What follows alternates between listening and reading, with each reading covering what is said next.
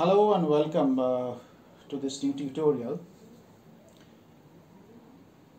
Many of our users have discovered Moodle LMS during this COVID-19 responses. While Moodle does provide a very sturdy and very robust and comprehensive platform for online classes, examinations and other things, the user interface is quite new for many people and particularly for faculty members across different disciplines uh, adapting themselves to designing a course on Moodle is prov- often proving to be the first hurdle.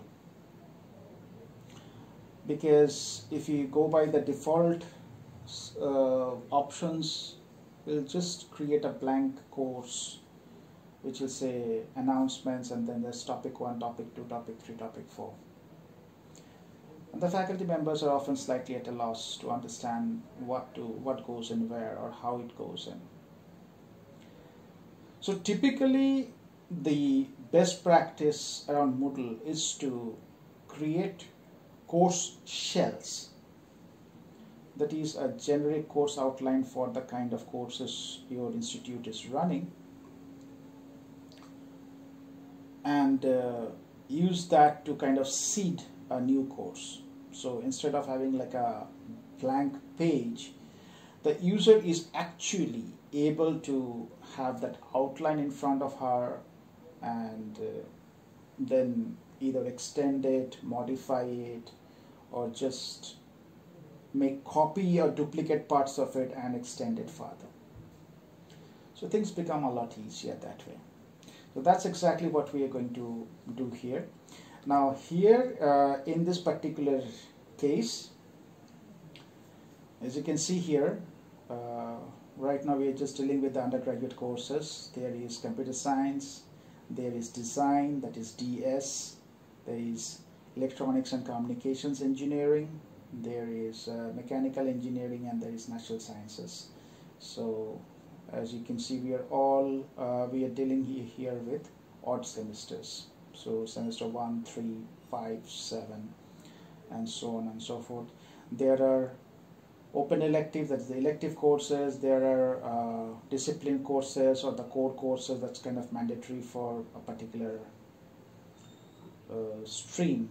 For example say mechanical engineering that you must uh, the mandatory papers that you must do so, so far only 20 have been added manually.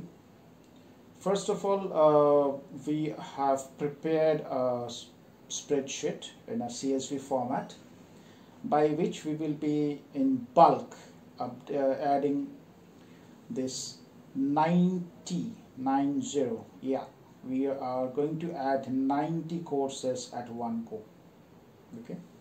So as you can see, this is our category path setting so under uh, undergraduate courses, this is natural sciences, mechanical engineering, CSE, design, and the semester under which this particular course will get created. There is start date, there is end date, format is topics, in some of the cases we have used tags for easy searching, and uh, enrollment uh, method will be manual and primary enrollment uh, role will be a student. So whoever we add uh, as a user, enroll user, by default the option will be of that of a student.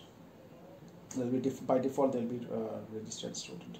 So there is this, yeah. So there is this uh, 90 courses. We are going to batch upload them. Now before we do that, we have done something else. Uh, I mentioned about the shell course. So let's take a look at what exactly is a shell course and uh, how it works. So site administration. Now before we uh, go in here, um, just log out and um, I'll just show you something here on just on a side note. So there is this uh, larger categories, there is this uh, undergraduate courses and PG courses, right? And nothing else you can see. So let's log in, uh, just understand in a minute why I just logged out and logged back in. So site administration, courses, manage courses and categories. Okay. Now, here if you take a look at it there is this undergraduate courses there is PG courses and there is also this e-learning resources this is also a category but as you can see here the visibility is uh, turned off which means it is not visible to outside users. Okay? So we can see it here. And uh, this is where we have our shell course so the UG course template shell course uh, course shell template for UG courses for this institution. Uh, so let's view the template. Let's understand what there is. Yeah. So here we have uh, an introduction section. So about the course this the faculty member will be able to edit. You can just edit it. Uh, name of the faculty number of students who are enrolled uh, and the number of credits this course will earn a student when they complete this. Here is a section for course material. Add your course material here. Can be topic wise date wise lecture wise example materials or links to ppts pdfs doc docx uh, excel videos etc when you add and upload your material here please remove this text which is here only as an instructional boilerplate. So you can actually remove this text when you actually add actual material to this okay? Then the next section is online lectures. So we have uh, given just two dummy url links so you can just edit it turn on. You can always turn editing on and uh, simply change the name change the URL and then go for edit settings from here okay? And uh, change the URL to which you want to point to and you are done right? And uh, not just that you if you want you can just duplicate this. So if you duplicate this say here see here's copy. So very easily we can we can do this and instead of this we can call this like 3 we can call this 3 and uh, sorting this is as easy as this. So this gives a structure which a faculty member can follow. So let's delete it for now. We'll come we can come back to this example once the courses are created the same with assignments quizzes uh, quiz 1 midterm exam quiz 2 end term exam textbook right? So these are the this these are the examples that are there right? So turn editing off right? So this this is our course shell. This is our course shell. And this is uh, in a category which is our internal resources which is not visible to outside users. Right. So let's quickly get to it. Uh, now before we do that let's do one more thing. Let's copy this part. This is what we're going to need. This is the uh, course short name. This is the short name. Yeah as you can see here this is a short name. The short name is something we will need to refer to this by and you'll see exactly in a min under a minute where exactly we want to we need to uh, do this. So here we are on courses and upload courses. Choose a file. Now which file do we go for? Uh, none other than this uh, course loader master odd semester CSV so choose file.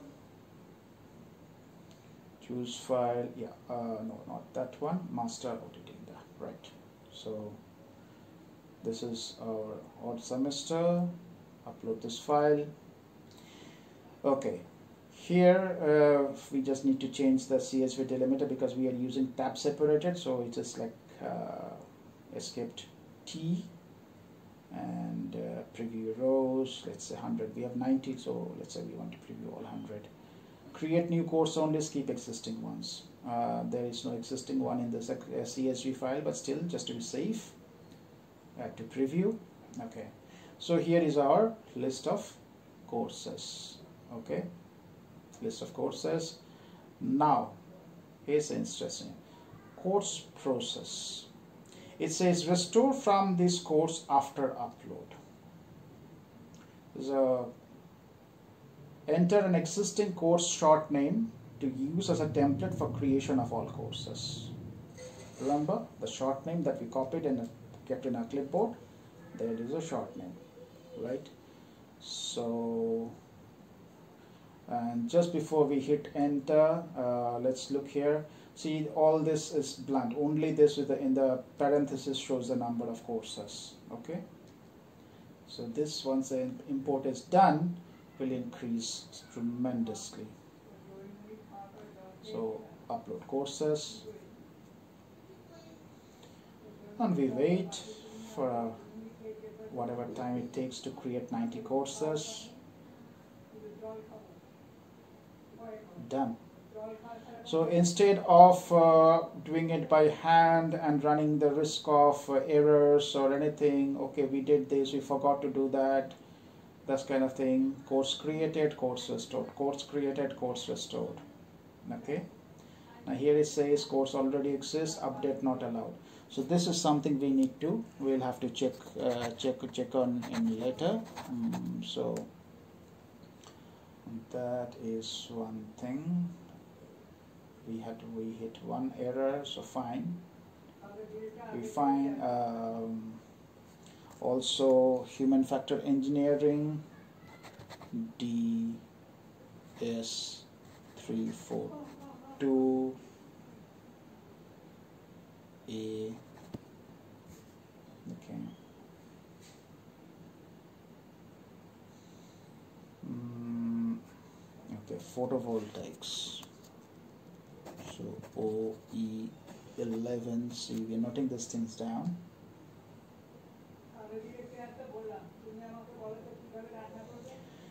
So course total 90 course created 87 so three are already existing. So let's do this. Continue. Okay. Now let's come here. There's nothing there's no no, no parenthesis besides this. It's only two it's very few it's only 20 there. There we see. There we see we have new courses. We have all courses popping up all over this right? So we have courses popping up all over here. Alright so everything has gotten populated let's just see if we have see what can we see? Yeah.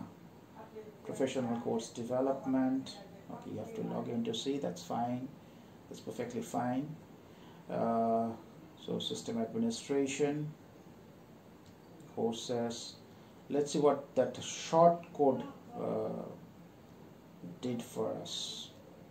Semester 1, Introduction to Profession.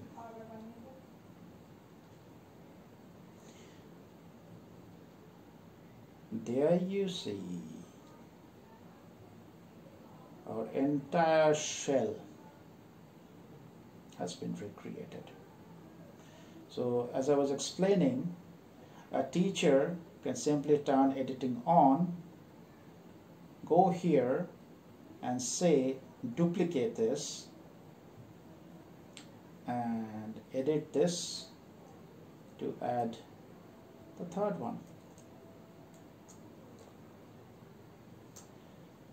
Similarly can just edit this to whatever he, uh, he or she wants to change and the link one he or she wants to point to. Right? So this can be changed very easily. So instead of having to look at a normal uh, blank Moodle course layout we all we have outlines here like this which we can now far more easily we can flesh it out right? So that's what this uh, session was about. Thanks for watching and uh, have a good have a good day. Take care and stay safe